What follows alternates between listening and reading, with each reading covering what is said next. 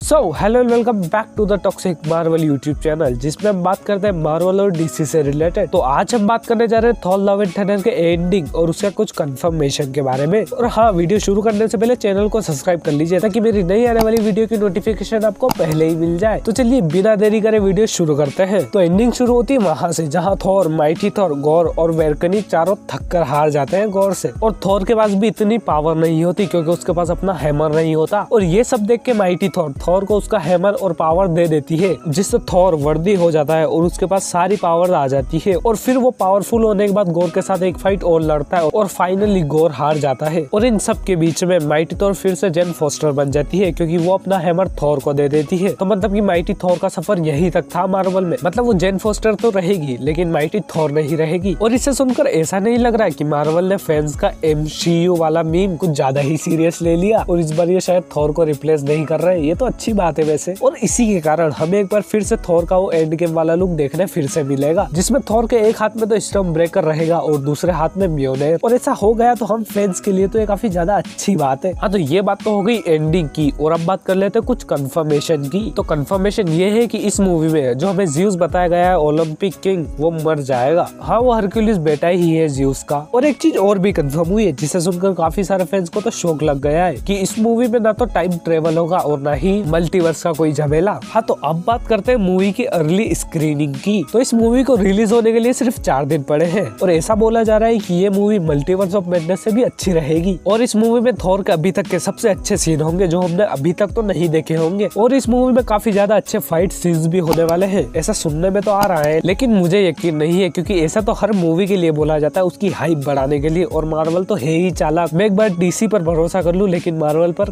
कभी नहीं। तो यार, इसीलिए अगर आप ये वीडियो मूवी रिलीज़ होने के बाद देख रहे हो तो मुझे ज़रूर बता देना कि मेरी एंडिंग सही हुई या नहीं। और यार, मुझे टिकट का भी बता दो, क्योंकि मुझे टिकट मिल नहीं रहे मेरे शहर में। तो यार, बस आज के लिए इतना ही। वीडियो पसंद आए तो वीडियो को लाइक करना, चैनल को सब्सक्राइब करना। अब हम मिलते हैं अगली वीडियो में।